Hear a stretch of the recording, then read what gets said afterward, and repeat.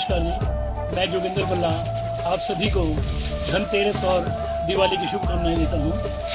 और ये उम्मीद करता हूँ कि आप सभी स्वस्थ रहें और कोरोना से बचाव में दो गज की दूरी बेहद ज़रूरी को ज़रूर अपनाएँ और मास्क का प्रयोग ज़रूर करें।